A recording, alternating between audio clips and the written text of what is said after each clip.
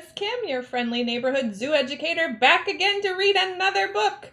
Today's book is Lion Lessons. I hope you're all ready to exercise and make loud noises in this one. It's really fun. It's one of my favorite ones to do at a graduation of a series of programs, and you'll see why. Hopefully, you all can get your lion diploma by the end of this book, too. Lion Lessons in Seven Easy Steps. It's not easy getting your lion diploma. I know, I took lessons. My teacher was a pro. There are seven steps to becoming a lion, he said. But first, we must stretch. Here we go, we're going to do our stretches. We did the upward lion, so lay on your belly and push up with your arms. We did the downward lion, you go on all fours and put your butt in the air. The upside down lion, that's only for advanced yoga people. Maybe if you can be against the wall, you can stand on your head. The rolling lion, can you do a somersault? The flying lion, if you can stand on one leg, you put your arms out and pretend you're flying. And then lastly, shake your manes. Shake. I got a big mane of hair, but doesn't move like the lion's mane. But shake your hair, shake your mane. That's your last stretch. All right, we're ready for step one. Step one is looking fierce. Watch me, said the lion. You bare your claws. Everybody make claws. You gnash your teeth and you show your fangs. So he tried. He tried his three most frightening poses. The lion was not impressed. Step two was roaring. It's simple, said the lion. Take a deep breath and roar as loud as you can into the microphone. I took a deep breath and roared as loud as I could. Ready? Breathe in. Roar!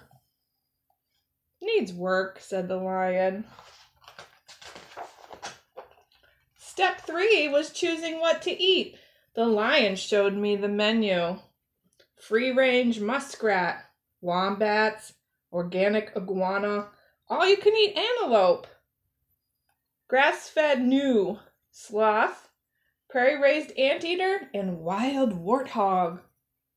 Are there any specials? I asked. You know, like spaghetti? The lion growled. We don't eat spaghetti.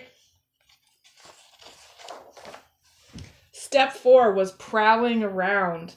We crept through the woods, trying to be invisible. He hid in the bushes. I can see your tail, said the lion. We hid behind trees. Your tail, said the lion. I can still see it. Step five was sprinting. Do you see that tree? said the lion. I looked around. You mean the little one here? No, said the lion. The big one, uh, far away hill, up there at the top. See it? I'll meet you there in five minutes. Sprinting is running really fast. It took me an hour. You need to hit the gym, said the lion. Sixth step was pouncing. It's simple, said the lion. You get a running start and then you jump on that lady. But I'll scare her to death. Uh, that's the idea, said the lion. So I got a running start and I pounced. What a cute little kitty cat, said the lady. Are you lost? Meow, I said. The lion checked my scores. This is not very promising. Step seven was looking out for your friends if you can do this, or you can get a toilet paper tube or a paper towel and make a lookout. Looking out for your friends. Right away, I spotted a kitten. Friend or foe, said the lion. That's easy, I said. Friend. What about the dog? I let out the most ferocious roar. Roar! I bared my claws, I gnashed my teeth, I showed my fangs. I shook my mane and I sprinted as fast as I could and I pounced exactly like a, well, you know, a lion. Right onto the doggy. Bravo, said the lion. And that's how I got my diploma. I'm very proud of it.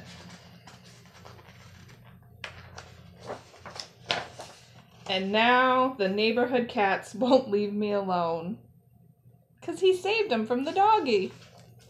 So congrats. I hope all of you earned your lion diploma today. And I'll be back again to read you another story real soon.